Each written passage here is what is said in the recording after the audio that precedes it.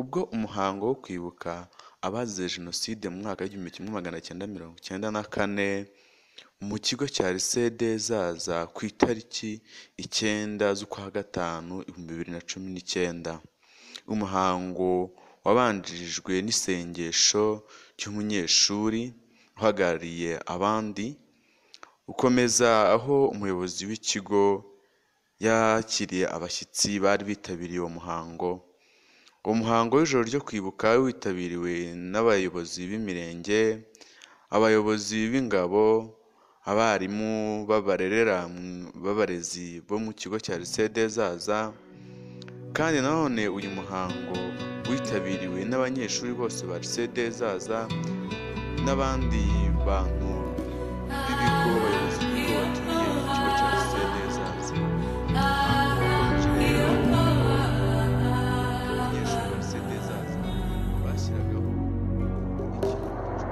umuzi w'amateka asharira washibutsemo amashami igiti cyiza cy'umushishe giteye ishema gisheja bene cyo.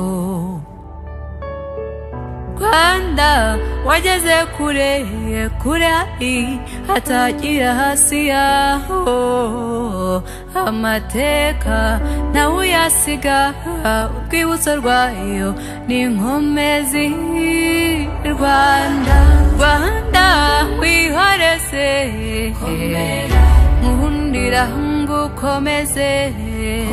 Jenoside yakorewe abatutsi na yo ntiza umunsi nyirizina wo kwibuka mu kigo cya lisede zaza wakomerejeho ku munsi ukurikira.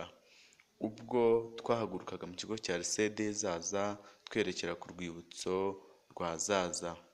Aho twagiye tugasoma misa tukanashyira indabo twunamira abacu bazize jenoside.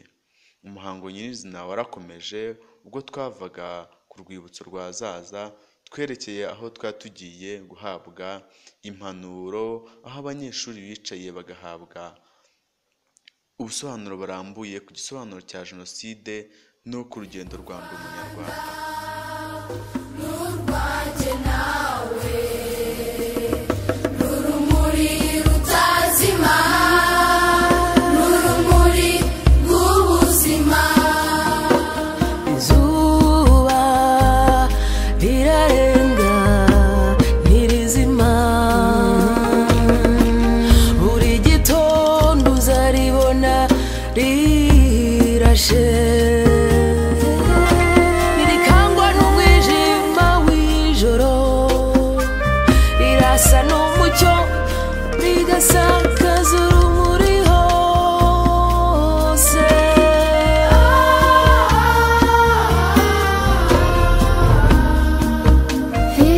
is the light, the light of remembrance, the light